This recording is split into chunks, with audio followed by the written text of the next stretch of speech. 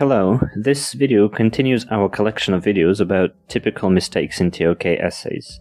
In the previous episode, we explained what constitutes a supporting examples in TOK and how sometimes it may look like an example is related to an area of knowledge when in fact it isn't.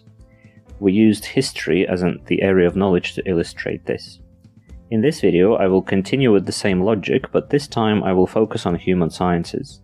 More specifically, my example today will come from psychology. I will show you one good example and one bad example of using knowledge from psychology to support your arguments in a TOK essay.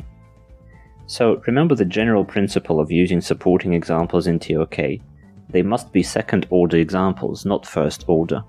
This means that they should be examples of how knowledge is obtained in a particular area, but not this knowledge itself. They should be about knowledge, but not about the world.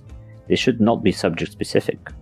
For instance, explaining a particular theory in economics or psychology or political science would not be appropriate, but if the focus is on how this theory was constructed or evaluated, then that's okay. There's a fine line here, I know, so let's look at some specific examples. Here is one of the prescribed essay titles from the November 2020 exam session. Too much of our knowledge revolves around ourselves as if we are the most important thing in the universe. Why might this be problematic? I will leave this essay title on the screen for easy reference.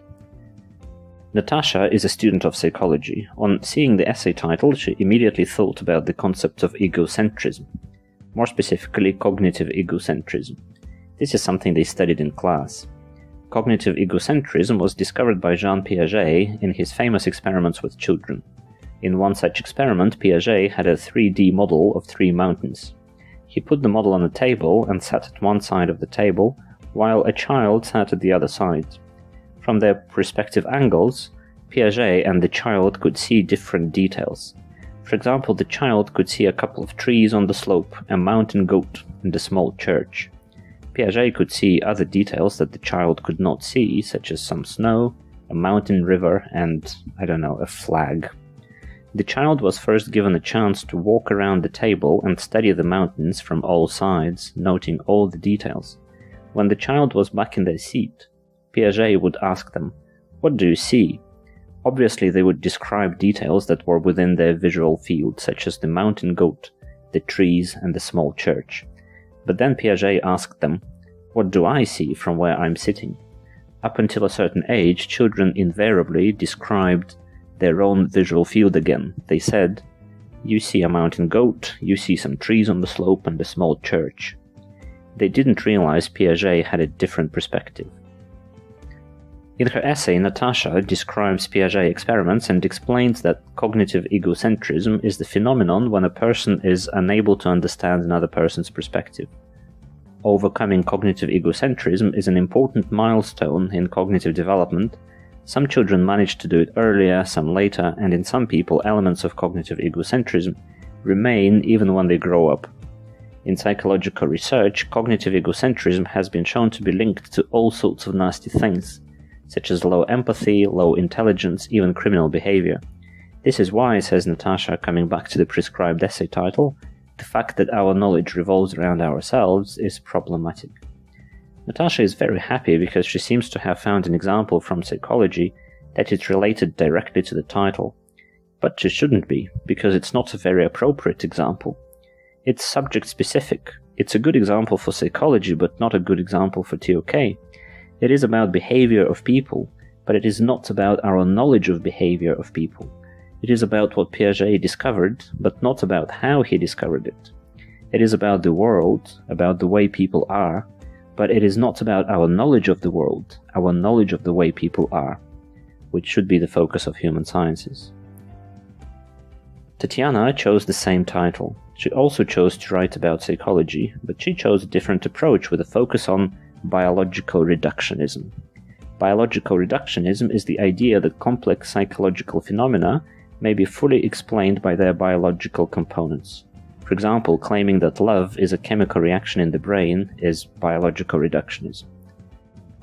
Another example of biological reductionism is the controversial field of sociobiology popularized by Edward Wilson in 1975. Sociobiology strives to explain complex phenomena of human society, such as marriage, crime, and government, by genetic inheritance and natural selection. Just like some animals, such as termites or bees, have elements of society, so do humans, and the claim is that human society is a phenomenon similar to other animal societies, only more advanced. It is common among students to criticize reductionism, saying that a reductionist theory is a bad theory. Indeed, there's a negative connotation associated with the word reductionism. It's almost synonymous to oversimplification. However, Tatiana decided to defend reductionism. One big advantage of reductionism, according to her, is that it places human beings in the larger context of evolution. If we're just a brain, although a highly evolved one, then we're not the most important thing in the universe. We're not separate in any way from our animal ancestors, and our brain is just one of a very long chain of upgrades in this grand evolutionary process.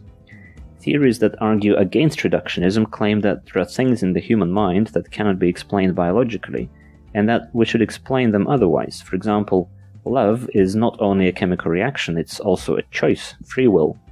Society is a product of quote unquote culture. This position sounds attractive, but the major difficulty that non reductionists are facing is that they cannot explain where these non biological phenomena come from. Why do humans have minds, consciousness, free will, and culture? Do other animals have them? If they do, where in the evolutionary process do they start having them? Do dolphins have consciousness? Do bees have a culture? How about bacteria? In human scientists, uh, if human scientists believe that we are the most important thing in the universe, they will naturally assume that we humans have characteristics that nobody else has but then they will find it difficult to explain how these characteristics appear. On the other hand, if we believe that humans are not unique, that they are nothing but a slightly more evolved brain, then it will be easier to see the connections to the rest of the biological world. Psychologists will collaborate with biologists, and perhaps one day, all pieces of this puzzle will come together. Can you feel the difference between these two examples? Natasha's example is about cognitive egocentrism, a characteristic of human thinking and behavior. It's about how people behave. It's not about our knowledge about how people behave. It's first order, not second order. It's about the world, not about our knowledge. Tatiana's example is about psychological theories and their assumptions. Some theories, such as sociobiology, assume that biological factors are sufficient for explaining all human behavior, some theories assume that they are not sufficient. Tatiana discussed the pros and cons of each of these approaches. Her example is about how scientists create theories about human thinking and behavior, but it is not about human thinking and behavior as such. It is a second order example. Tatiana's example is suitable for a TOK essay, whereas Natasha's not so much. To summarize, here is a list of common questions that are investigated in psychology, along with their non-subject specific TOK versions. Psychology. Why do people behave the way they do? TOK. How can we know the reasons that people behave the way they do? How can we be sure that theories explaining human behavior are correct? Psychology. How do people make decisions? TOK. How can we know if models of decision making in psychology are credible? Psychology. Does emotion influence how we make decisions? TOK. Do emotional factors play any role in the scientific investigation of human decision making? The line between psychology and TOK is very thin sometimes, barely visible. However, it's important to feel the difference to stay focused on knowledge concepts and stay away from subject specific arguments. More videos are coming up about other areas of knowledge, watch this space. Don't forget to check the links in the description. They will take you to Themantic Education's website with our new TOK textbook, lesson plans, blog, YouTube videos, and more. Thank you for watching. See you next time.